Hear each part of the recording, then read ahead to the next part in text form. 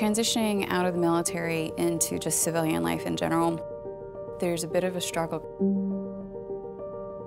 When you take off the uniform physically, it actually takes some time to process taking off that uniform mentally. Here you are, you've been in the military for however long, and all of a sudden you're going to be a civilian.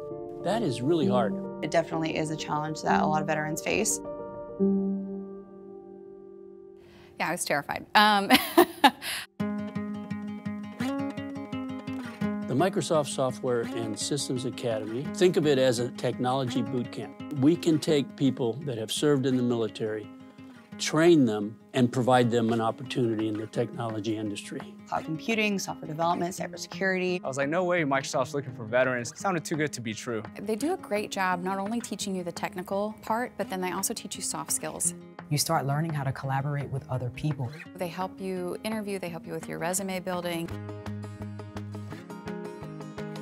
Towards the end, I was like, oh my gosh, I actually do know how this works. I think a lot of people, what I hear is them underselling themselves, but there's so many skills that are easily translatable. Veterans bring a sense of duty, a sense of focus. That's really valuable. They're going to have that leadership, that discipline. We generally have a pretty high uh, stress tolerance.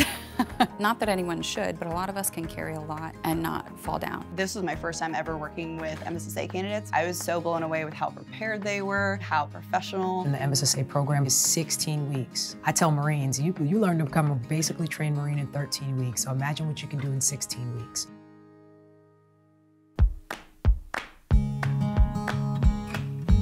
While the Army has its own processes to help service members transition, it's nowhere near as in-depth and personalized as what you're going to get in MSSA. We have a saying, once an MSSA graduate, always an MSSA graduate, and we're going to be there for the long term.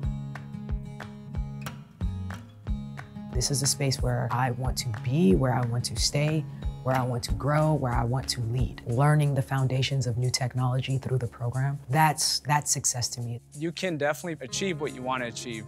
One of the things that service members share in common is that drive to always do better and to be better and to grow yourself and to learn more.